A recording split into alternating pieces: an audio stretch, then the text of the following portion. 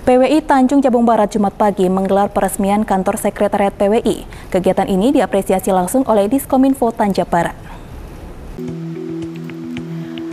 Gebrakan PWI Tanjung Jabung Barat untuk membesarkan organisasi pers patut diacungkan jempol. Salah satu upaya yang dilakukan PWI yakni dengan menggelar peresmian kantor sekretariat PWI.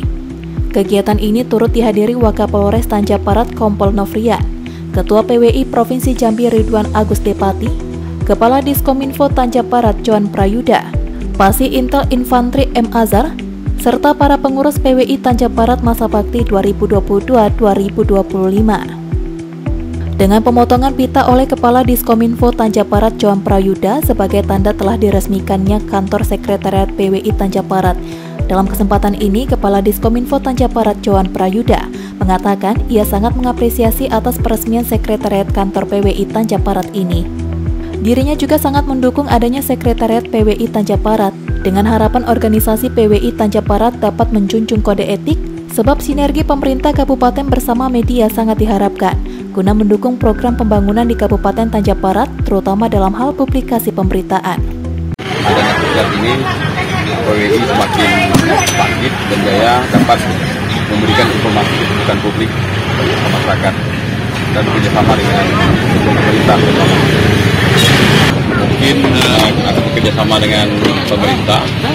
Kami mungkin akan menyupport uh, di karena di perubahan. perubahan kan perubahan. Sementara itu, Ketua PWI Provinsi Jambi Ridwan Agus Depati mengatakan, ia rela datang dari kota Jambi hanya untuk menghadiri peresmian kantor sekretariat PWI Tanjapara. Dan dengan diresmikannya sekretariat kantor PWI, ia berharap PWI Tanjapara dapat berkembang dan maju, terutama di bawah kepemimpinan Rita Gunawan selaku Ketua PWI Tanjapara.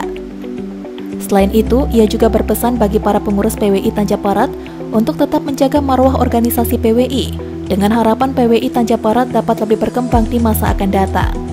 Resmian kantor PWI Tanjab Barat yang dipimpin oleh Rita Nawan.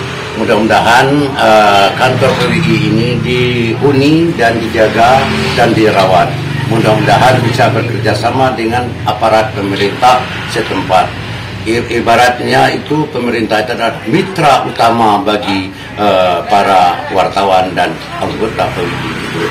Mudah-mudahan dengan kehadiran kantor PWI yang telah diresmi pada hari Jumat ini ke depan menjadi kantor yang layak huni dan menjadi wartawan yang bermanfaat dan bermartabat di masa depan.